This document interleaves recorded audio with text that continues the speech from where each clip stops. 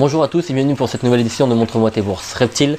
Donc l'édition numéro 3 euh, parlera essentiellement donc de la bourse d'Azé en Mayenne qui a lieu le 30 septembre.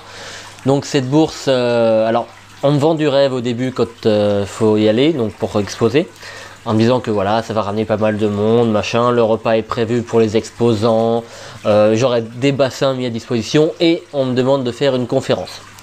On part sur ça. J'arrive sur place, les organisateurs de la partie reptile, parce que c'était une bourse oiseau et reptile, mais la partie reptile n'était pas là. Super. Euh, donc euh, les bassins n'étant pas présents, je ne peux pas installer mes tortues, alors que j'avais demandé à ce que les bassins soient déjà mis en place, ce qui n'était pas le cas. Bon, on arrive, on mange tranquille, voilà.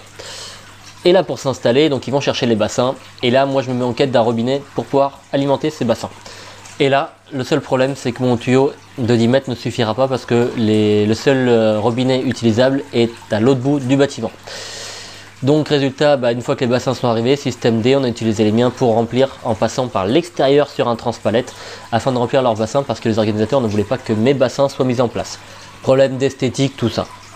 D'accord. Résultat, au final, mes bassins étaient beaucoup plus esthétiques que les leurs.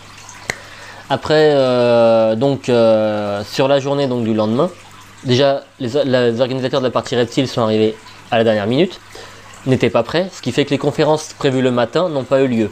Pourquoi? Parce que tout simplement la mienne était prête, mais la leur n'était pas prête. Euh, ils étaient en train de refaire totalement tout le PowerPoint. Donc bon, ça c'est un truc qui se prépare longtemps à l'avance, hein, ça se prépare pas à la dernière minute.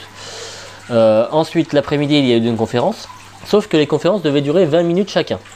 La leur ayant duré 45 minutes, et je l'ai regardé, je l'ai filmé, donc je sais vraiment le temps, euh, elle a endormi le peu de spectateurs qu'il y avait. Ce qui fait que quand elle s'est finie, tout le monde est parti et au moment de passer, plus personne. Donc j'ai annulé totalement cette conférence hein, qui était prévue. C'est vraiment dommage.